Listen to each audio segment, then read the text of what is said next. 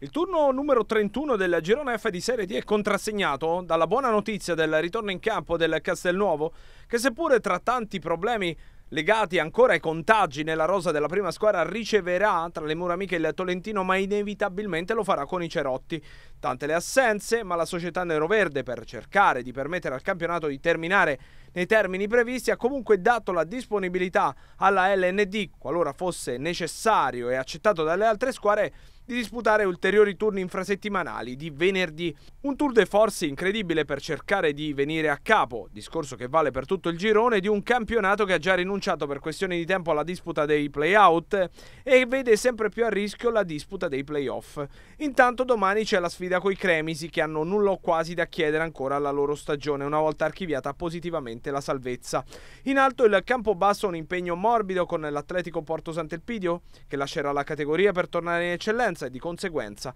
la strada per la Lega Pro per i rossoblù molisani sembra ancora più spianata.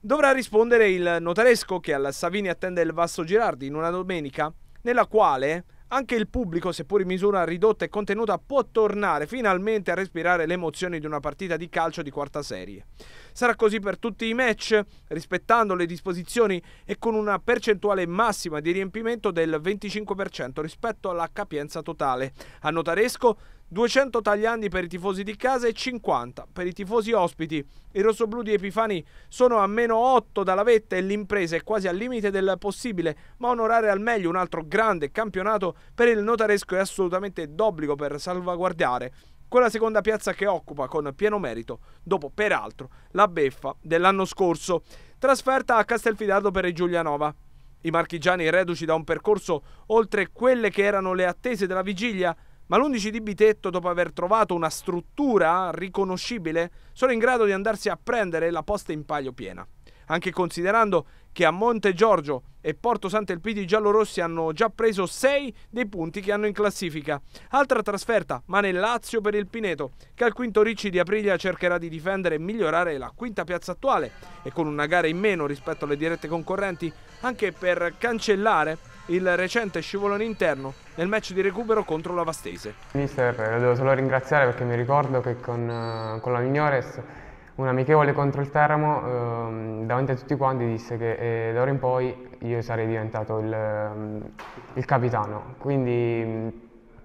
lo devo solo ringraziarlo e devo puntare solo um, all'obiettivo sicuramente avevamo una mente più libera però sapevamo comunque eh, domenica ci aspetta una partita importante contro la Priglia, eh, una buona squadra e quindi mh,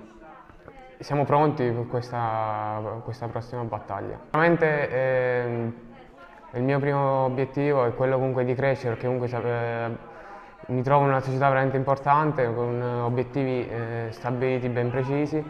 e comunque giocando anche con eh, calciatori in cui hanno fatto campionati importanti come la Serie C, eh, eccetera. Sicuramente mm, mi aspetto di migliorare sempre di più. Di squadra abbiamo degli obiettivi ben precisi che comunque quello di vincerle tutte, arrivare, mm,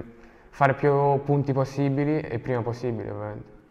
A proposito di Vastese, proprio a Pineto, vista la squalifica dell'Aragona, i biancorossi di D'Adderio proveranno ad avere la meglio della Cinzia Albalonga, formazione terza della classe. Impegno complicato, ma che come per il Giulianova gli aragonesi possono affrontare senza patemi. Infine gli arbitri, Aprilia Pineto a Stefano Peletti di Crema, Castelfidardo Giulianova a Valerio Bocchini di Roma 1, Castelnuovo Tolentino a Maxim Frasiniak di Gallarate, Notaresco Vasto Girardi a Stefano Raineri di Como e Vastese Cinzia Albalonga a Nicolo Rodigari di Bergamo.